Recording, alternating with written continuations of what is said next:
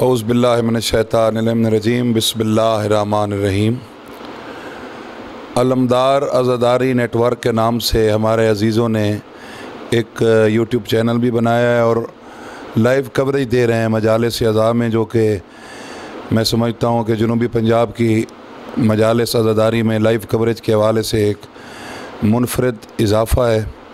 मालिक इनकी खिदमत को कबूल फरमाए।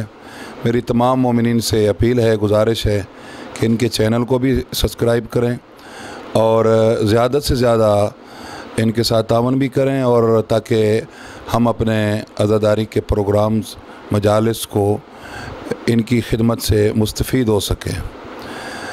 तमाम अज़ादारों को वसलाम या अली वसलाम मदद।